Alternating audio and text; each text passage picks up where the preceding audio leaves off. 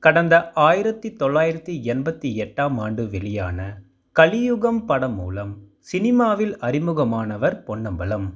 தமிழ் சினிமாவின் உச்ச நட்சத்திரங்களான ரஜினிகாந்த் கமலஹாசன் விஜயகாந்த் சரத்குமார் அர்ஜுன் உள்ளிட்ட பல பிரபல நடிகர்களுக்கு வில்லனாக நடித்துள்ளார் பொன்னம்பலம். தமிழ் சினிமா மட்டும் இல்லாமல் மலையாளம் தெலுங்கு கன்னட படங்களிலும் வில்லனாக நடித்து பிரபலமானவர் பொன்னம்பலம்.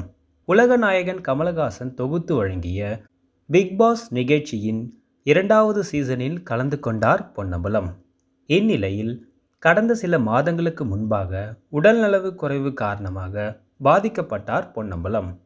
அந்த சமயத்தில் கடுமையான நிதி நெருக்கடியில் சிக்கிய இவருக்கு திரையுலக சார்ந்த பலரும் பண உதவி செய்தனர். சிறுநீரக கோளாறு காரணமாக மருத்துவமனையில் அனுமதிக்கப்பட்டு சிகிச்சை பெற்று வந்தார் பொன்னம்பலம்.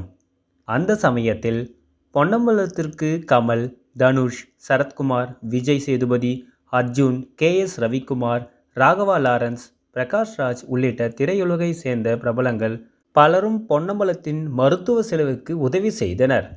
இந்த நிலையில் தற்போது உடல்நலம் தேறியுள்ள பொன்னம்பலம் அளித்துள்ள பேட்டி இணையத்தில் வைரலாகி வருகிறது.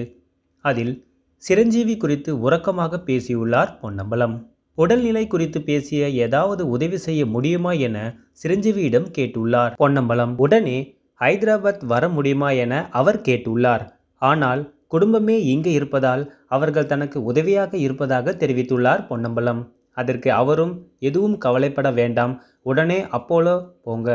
நான் எல்லாத்தையும் பார்த்துக்கிறேன் என கூறியுள்ளார். அதன்படி அங்கு சென்று டயாலிஸ் செய்ய உதவி செய்வார் என நினைத்தால் நாற்பத்தி ஐந்து லட்சம் வரை செலவு செய்து என்னை காப்பாற்றினார் சிரஞ்சீவி.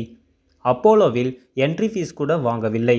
அங்கிருந்த அவரின் மனைவியும் என்னை நன்றாக பார்த்து கொண்டார். நான் வணங்கும் கடவுளின் பெயரை வைத்துள்ள சிரஞ்சீவி சார் செய்த உதவியை எப்போதும் மறக்க மாட்டேன். அவர்தான் ரியல் மெகா சூப்பர் ஸ்டார் என உறக்கமாக பேசியுள்ளார் பொன்னம்பலம். அவரின் இந்த பேட்டி இணையத்தில் வைரலாகி வருகிறது.